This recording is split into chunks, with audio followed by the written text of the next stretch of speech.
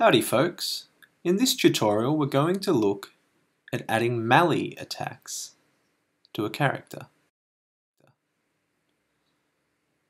Start by opening the attack tutorial base. This gives us a very basic setup with a character who can walk back and forth and jump and we have an enemy here doesn't cause us any damage and is non-blocking.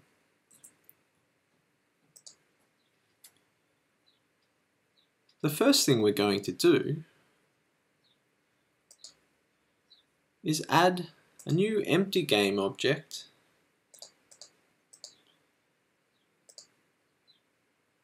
We're going to call this attack tutorial character attacks. We'll move it up in the order here so that it has a higher priority than air movement and ground movement. And we're going to add a component called basic attacks. Let's add an attack. And we'll call this attack punch. The attack type is melee. Let's pick an animation for this attack. Attack punch. Location controls where we need to be in order for this attack to trigger.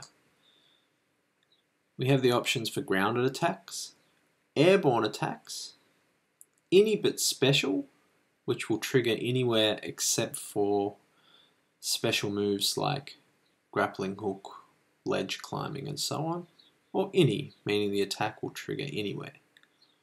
For our punch, let's leave it at grounded. The next thing we need to do is decide on the button we want to trigger the attack. I'm going to leave it as button 0.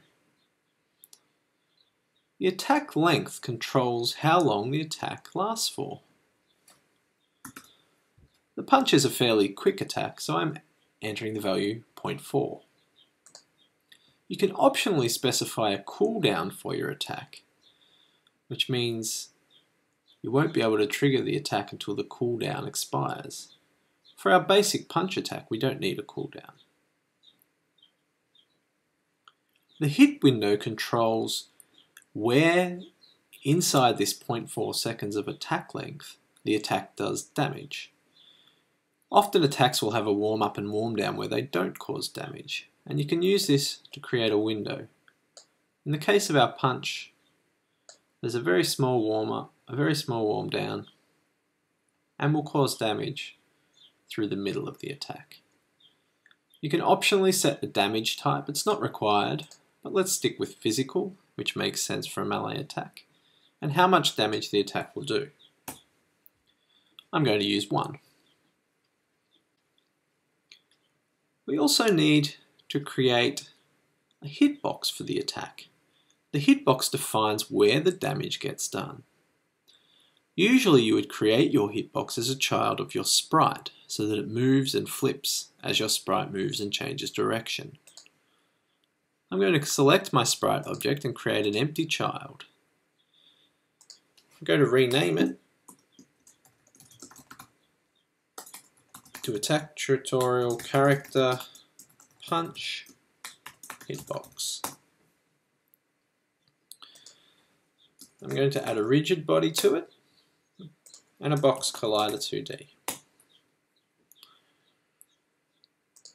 The rigid body will be kinematic and will not have gravity applied. Let's go to the scene view and edit the box collider.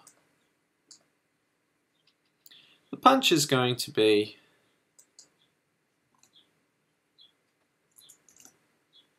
someone in front of my character.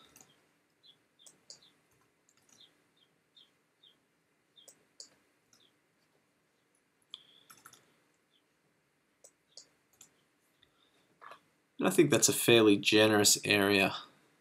So when this hitbox encounters an enemy hurt box, it will cause damage.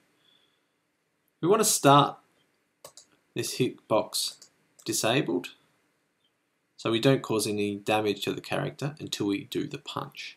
I need to add a character hitbox. And now we go back and assign the hitbox. The last thing we need to do to get a very simple attack up and running is animate it. There are a couple of options for animating attacks.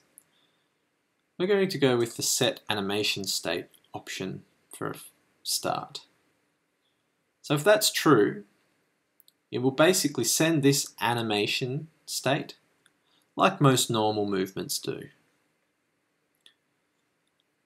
Let's go to our animator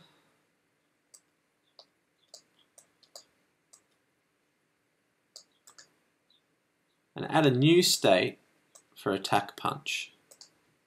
We'll call the state attack punch. Because we're using the 2D bridge, we need this name to match this animation state exactly. if we have a look in the art, we'll see a punch animation and we'll drag that up to the motion slot.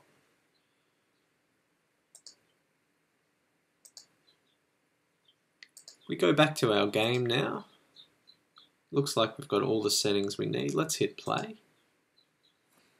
And we'll see we now have a fairly quick punch animation.